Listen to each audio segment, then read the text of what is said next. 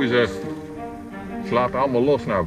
Veiligheid, dat wordt wel een issue hoor. Ik ga daar niet met mijn hand over in het vuur steken wat er vorige week is gebeurd.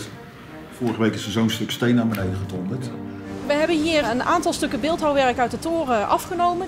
En die worden hier eh, door de beeldhouwers gekopieerd en opnieuw vervaardigd.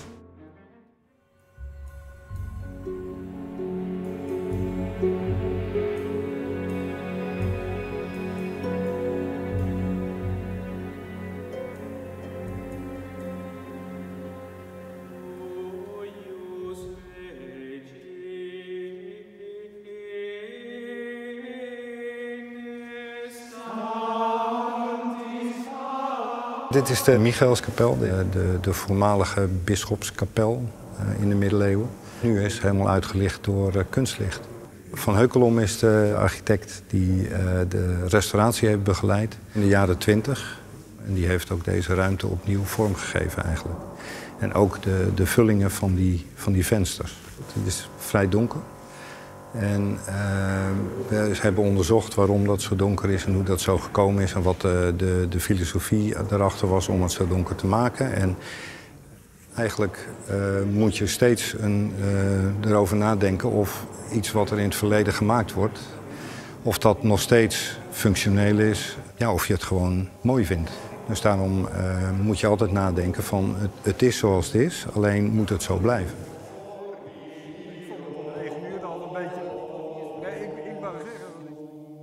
Dit zijn de, de glas- en loodramen van de Michaelskapel. En die hebben een hele bijzondere opbouw. Er zitten verschillende lagen glas achter elkaar.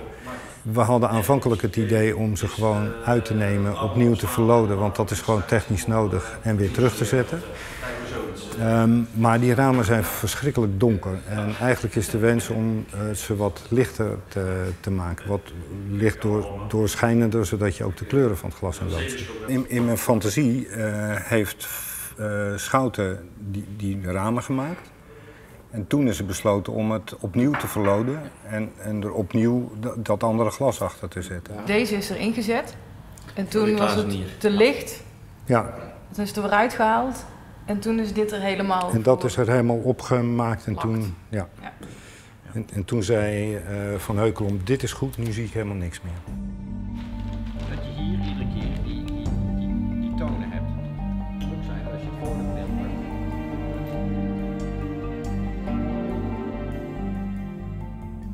We gaan nu eigenlijk proberen te, te reconstrueren. Wat de eerste vorm was, eerste ontwerp. Hier lag de hele stapel zoals ze in het, uh, in het raam zaten. En daar halen we nu in principe de eerste, de binnenste laag uit, want daar zit de, de brandschildering op. En uh, dan gaan we kijken wat daarvan wordt. Want wat, het doel is om die ramen wat lichter te maken.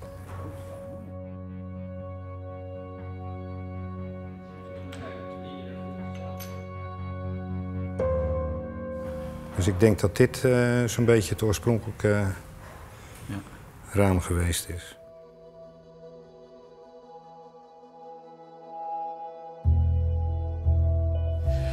Het klinkt gek zo in het donker, maar ik ga hier foto's maken van het glas in lood. In de, in de Michaelskapel van de, van de Domtoren. En dan zou je zeggen van uh, glas in lood, normaal valt daar licht doorheen, dat, dat klopt ook. Maar als je hier naar het glas in lood kijkt, dan zie je eigenlijk van ondanks dat er bouwlampen nu aan de buitenkant staan, dat er eigenlijk geen licht door dat glas in lood komt. De foto's die, die ik ga maken, want ik ga alle glas- en loodvensters uh, fotograferen, die hebben we nodig bij de restauratie om te, kunnen zien steeds straks als we bezig zijn van hoe zag dat glas en lood eruit.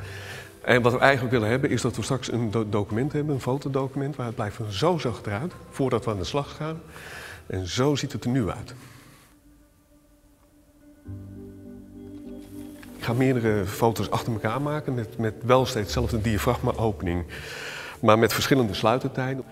Uh, het zijn belichtingstijden van circa 4 minuten, 8 minuten, 16 minuten.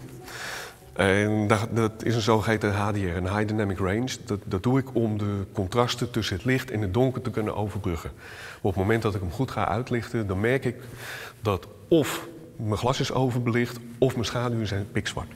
Nou, dan heb ik meerdere afbeeldingen nodig en die kan je met uh, computerprogramma's, met, met, met Photoshop, kan je dat over elkaar leggen. En dan krijg je een heel mooi beeld, uh, waardoor je heel goed kan zien van wat was het patroon van, van het glas en lood zoals het nu is, wat zijn de kleuren zoals ze nu zijn. En die kunnen we straks naast de gerestaureerde panelen leggen.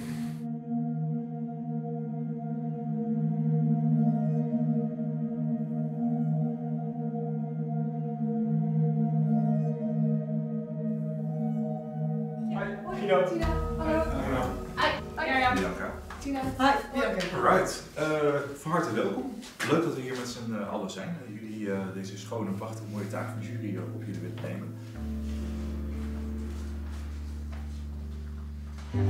Wij lazen dat het materiaal van de domtoren dat overblijft bij de restauratie vergruist zou worden en gebruikt wordt als fundament op de stelweg.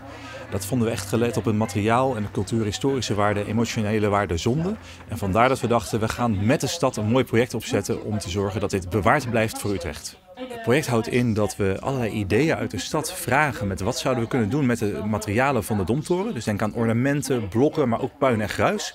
Dien die ideeën in en dan krijg jij materiaal om het te gaan maken. Er zijn bijna 200 ideeën binnengekomen. Dat is ongelooflijk veel. Die hebben we met de jury allemaal doorgenomen. En daar zitten ideeën in van uh, sleutelhangers, mini-domtorentjes, maar ook hele grote kunstwerken in de openbare ruimte. En daarvan krijgen heel veel ideeën ook materiaal, uh, zolang ze maar praktisch uitvoerbaar zijn, duurzaam, iets teruggeven aan de stad, et cetera.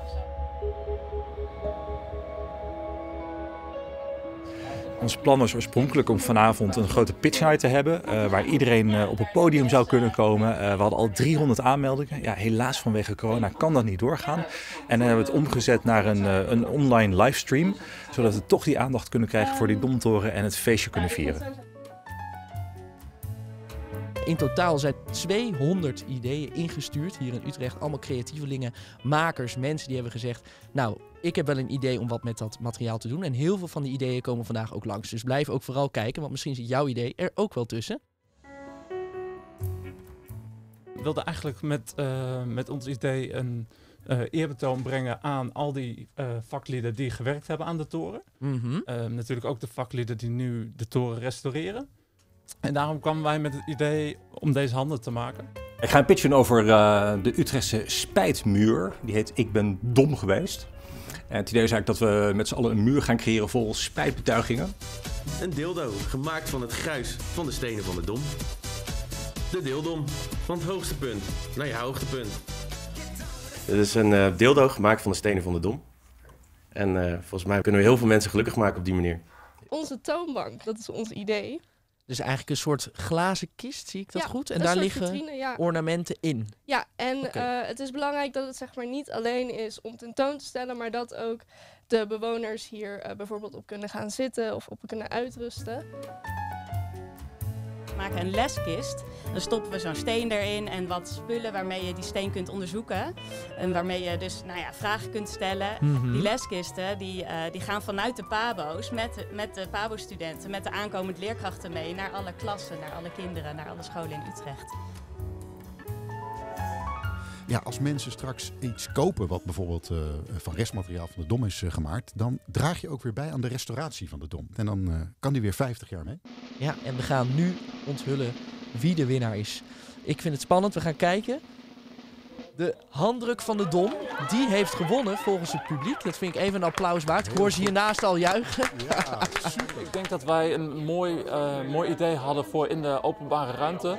Dat het veel Utrechters ook aanspreekt. Um, en dat veel mensen op het idee gestemd hebben. Maar we zijn natuurlijk ook heel benieuwd uh, nou ja, wat de jurystem gaat worden. En dan gaat het over een cheque van 1750 euro. En um, nou ja, Ilke, mag ik jou het woord geven over uh, wat jullie als jury uh, bevonden hebben? De winnaar is... Dom geweest.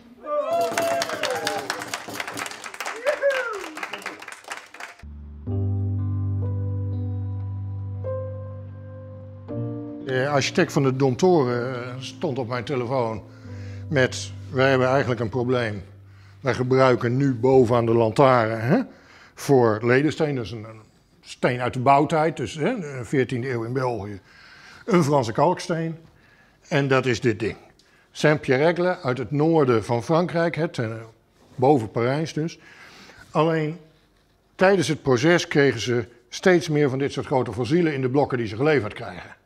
En dan kun je je voorstellen, op zo'n groot blok, eentje dat gaat best.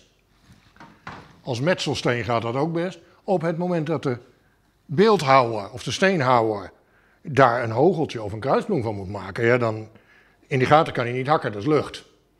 Dus zij gingen op zoek van wat dan. Daarbij kwam een andere steen in beeld. Kwahujar, eigenlijk een steen die we niet kenden, geen toepassing in Nederland, uh, ziet er leuk uit, maar ja, hoe geschikt is hij nou? Wat je natuurlijk meteen al wel ziet, die grote fossielen zijn hier allemaal afwezig. Dus wat dat betreft prima, maar de duurzaamheid, onbeschreven blad. Dus dat gaan we gaan uitzoeken. Vandaar de vorsttest.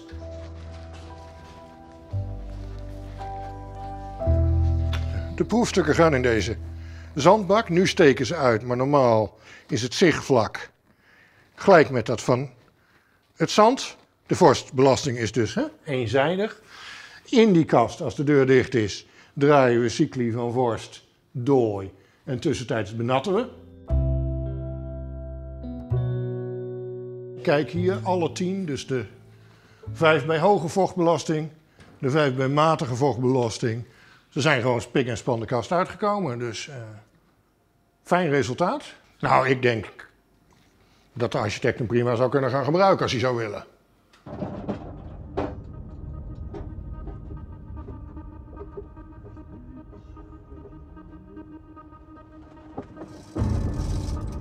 Dit zijn de waterspuwers. Dit zijn de afvoeren van de goot. We hebben drie goten op, dit, op de hele toren zitten. Alle, alle spuwers zijn verschillend. Dit is dan een adelaar toevallig. We hebben ook uh, duivelskoppen, uh, draken, van alles zit erin.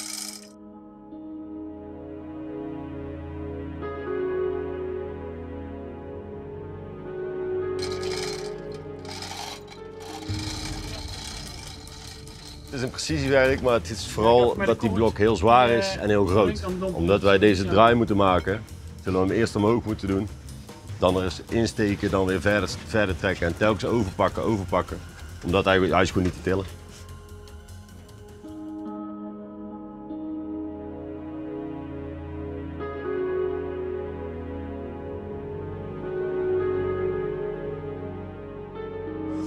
Zo te zien is het eh, een, een duivel en ja, je kan ook precies goed zien hoe, de anatomie van het lichaam uh, is. Hè, qua, qua ruggengraat, qua, qua rugspieren, qua armspieren, biceps, triceps. Je ziet van alles. Het is echt heel gedetailleerd, heel netjes gemaakt. En het water komt onder de goot hierin terecht en wordt zo naar buiten ge, gevloeid.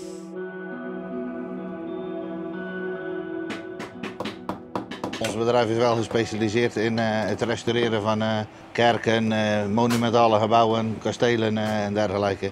Daar hebben we veel ervaring in. dit is wel een, een, hele hoge toren, de hoogste kerktoren van, van Nederland, dus dat maakt het wel bijzonder.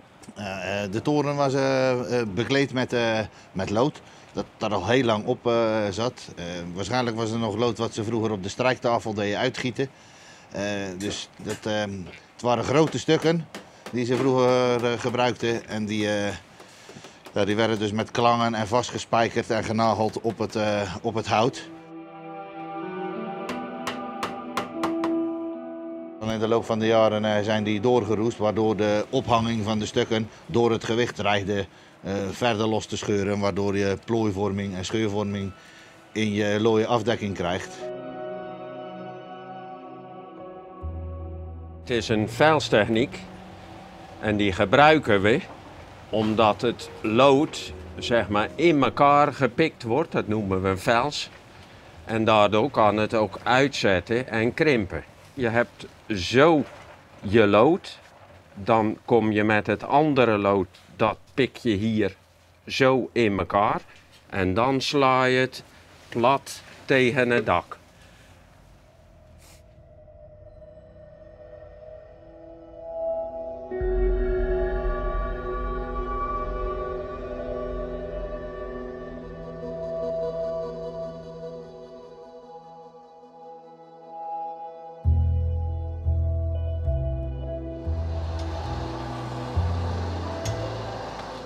Het vuur is ongeveer 1700 graden. En het staal zelf, dat uh, moet je smeden rond de 11, 1200 graden om het precies goed te kunnen bewerken. Dus die overhitte kun je goed gebruiken om sneller te kunnen werken.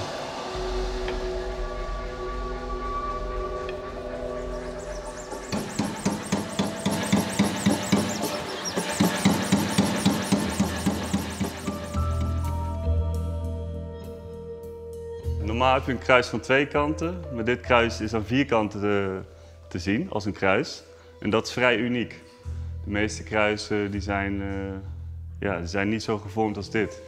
Bij het hele kruis zag je plekken zoals dit. Uh, de wind van zuidwest had aan deze kant eigenlijk overal zo allemaal gaten ingeslagen door weer een wind. En het was gaan uh, wegrusten. En ja, eigenlijk hebben we dat helemaal terug weten te brengen overal. Dus we hebben heel, heel veel plekken heel veel zitten oplassen, stukken ingezet. En daar weer helemaal naartoe geslepen. Ik denk als we er zo klaar mee zijn dat er ongeveer zo'n 285 uur in gaat zitten. Wat je, wat je ziet glimmen allemaal. En wat zo strak is, is eigenlijk compleet uh, nieuw toegevoegd. Het is uh, heel eervol om hier aan te mogen restaureren. Ja.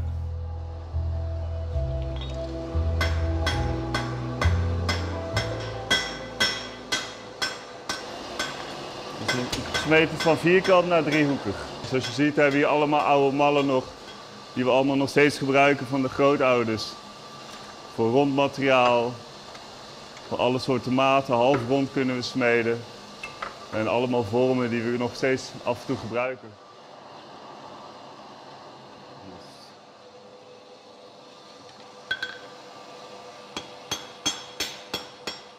Uh, Wout is de zesde generatie van smeden in onze familie. Mijn overgrootvader, Matthijs van der Horst, die had een dochter, Carolien van der Horst, en die is getrouwd met Kniep.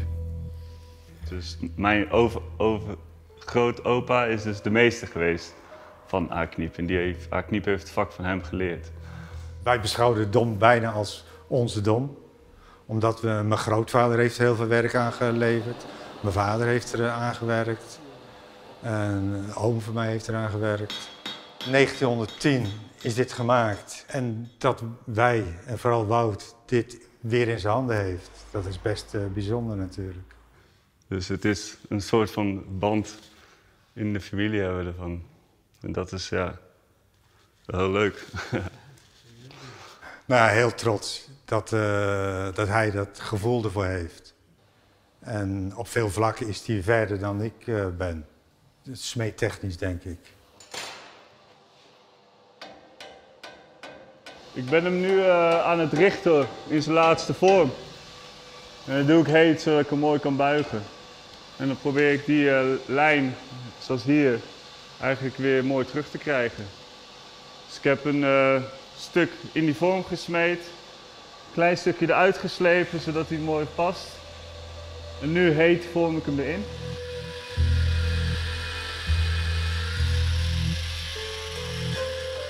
En het is gewoon heel tof om uh, in zijn ere te herstellen. Zoals we het toen de tijd hebben gemaakt. Dat vind ik het mooie aan het restaureren.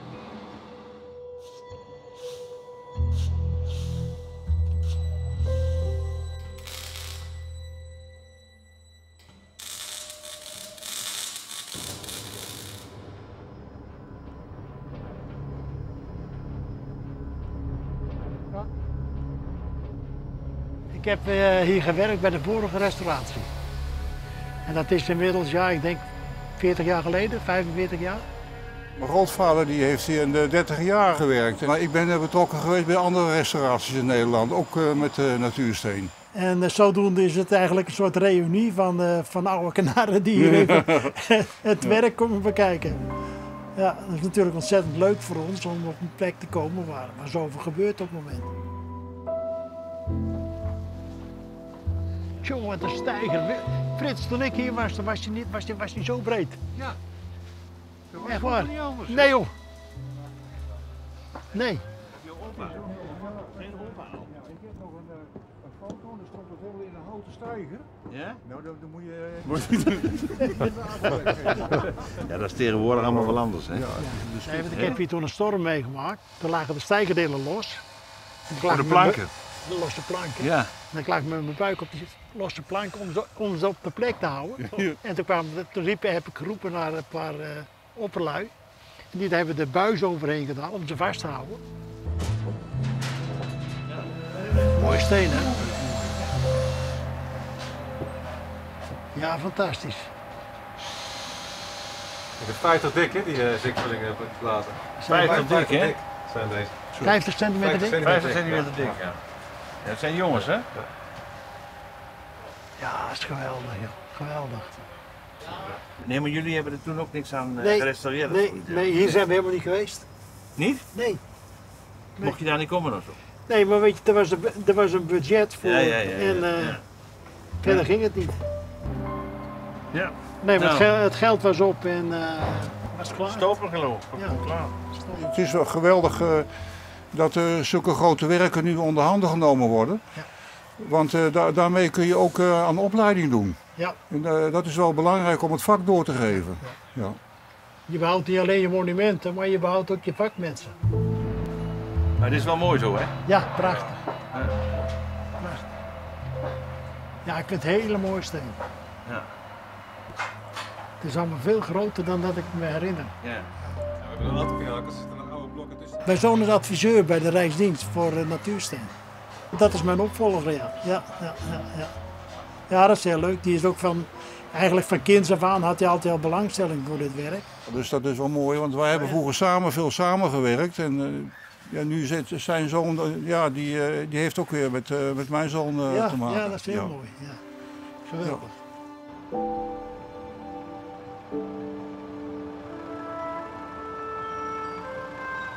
De laatste keer dat jullie hem zilver zagen was hij eigenlijk ongespoten. Dat is gewoon de kleur van het staal zelf. De ijzerkleur is weg. En nu is hij compleet behandeld, geschoppeerd en eh, een paar keer nat gelakt. Dus daarom is hij nu eh, zwart. Dat hij eh, eigenlijk voor de komende 100 jaar sowieso goed blijft. Het is helemaal goed gelukt. Hoe we hem wilden hebben is het ook precies zo gegaan. Dus dat is heel fijn. Ja. Ik ben wel eh, enthousiast, ja.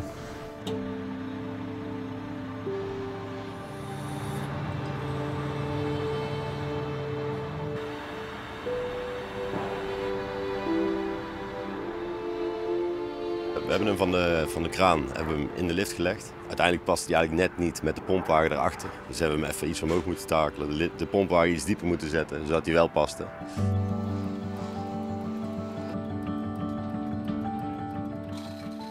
Uiteindelijk kwamen we boven. Toen hebben we het overgenomen met, met kettingtakels en eh ijsbandjes. Die ijsbandjes die stroppen we om, eh, om het kruis heen. Zodat we hem telkens, over, over kunnen pakken. En zo slepen we hem eigenlijk over de stijger heen zonder dat hij de stijger raakt. Hij staat al eh, in de verf. En ja, daar moeten wij natuurlijk gewoon zuinig op zijn. Hoe minder beschadiging, hoe beter. Ik had geen flauw idee van hoe ze dit zouden doen, maar hij vliegt echt naar boven met al die takels. Is echt eh, mooi om te zien. Op het moment dat het kruis terugstaat op de, de kerktoren, dan is de Domtoren weer de hoogste toren van Nederland. Op dit moment is dat tijdelijk even de toren van Delft. Maar eh, ja, zoals je kan zien is hij heel snel weer de, de hoogste.